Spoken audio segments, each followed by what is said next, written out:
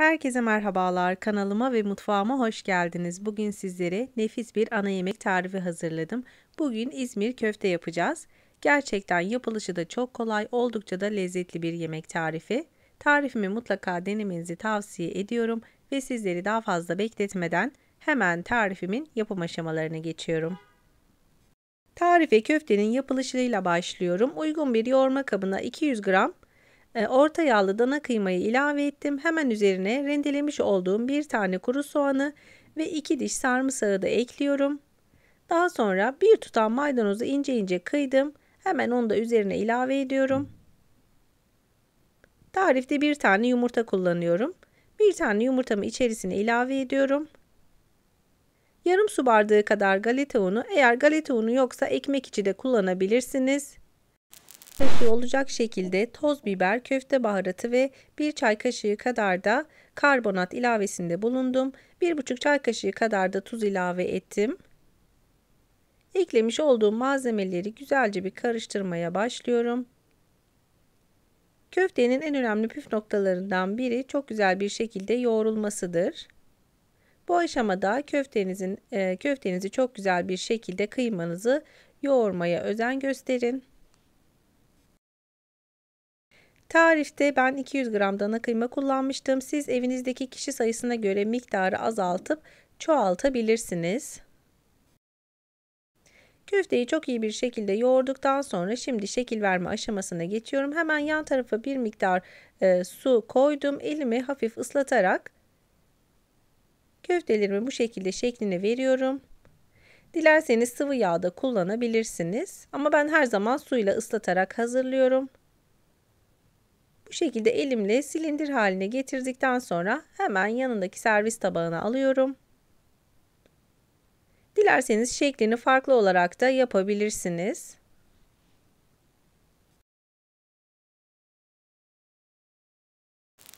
Tamamını şeklini verdikten sonra temiz bir poşetin içerisine koyup dinlenmesi için buzdolabına kaldırıyorum. Köfteler dinlenirken hemen sebzelerini hazırlamaya başlıyorum. İki tane kabuklarını soyduğum patatesleri elma dilim şeklinde gördüğünüz gibi doğramaya başlıyorum.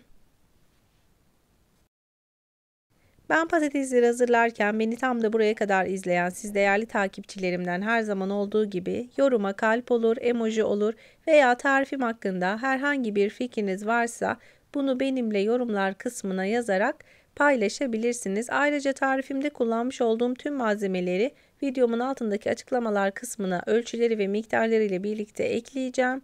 Oradan bakarak da tarifimi güvenle deneyebilirsiniz. Biberleri de uzunlamasına doğradıktan sonra domatesleri de aynı şekilde gördüğünüz gibi doğruyorum. Tüm sebzeleri de hazırladım. Şimdi artık kızartma aşamasına geçiyorum. Uygun bir tavayı ocağa aldım. İçerisine bir miktar yarım çay bardağı kadar sıvı yağ koydum. Gördüğünüz gibi patateslerimi artık kızartmaya başlıyorum. Arkalı önlü olacak şekilde bir miktar kızarmaları yeterli olacaktır. Zaten tencerede pişirme aşamasında olduğu için çok fazla da kızartmanızı tavsiye etmem. Aksi takdirde patatesleriniz dağılabilir.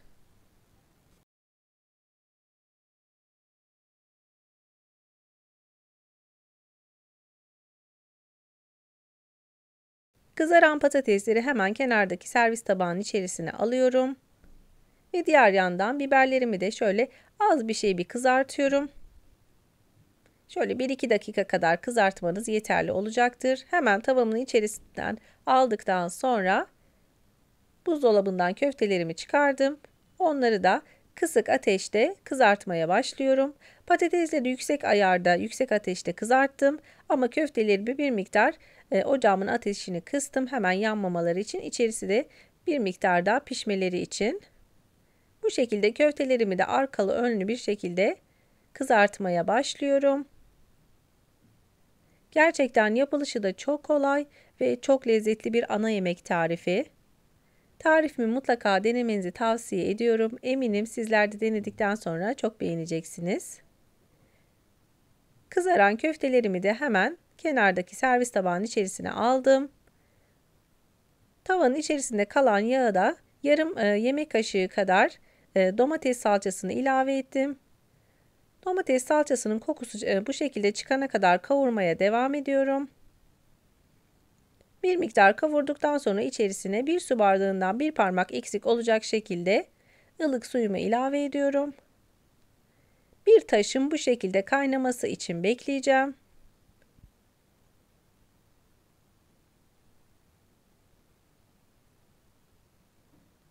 Birkaç dakikanın sonunda kaynamaya başladıktan sonra tavamdan içerisine eklemiş olduğum salçalı suyu aldım ve artık köfte patateslerimi tavamın içerisine dizmeye başlıyorum. Gelişi güzel bir şekilde dizmeye çalışıyorum gördüğünüz gibi. Bir köfte, bir patates ve domates olacak şekilde. Domateslerimi de aynı şekilde kenarlarına sıkıştırıyorum. Ve son olarak da sivri biberlerimi de üzerlerine yerleştirdim. Gerçekten görünüş itibariyle son derece e, çok gösterişli bir yemek oldu. Bu şekilde yemeğimi de hazırladıktan sonra üzerine salçalı sosumu dökeceğim.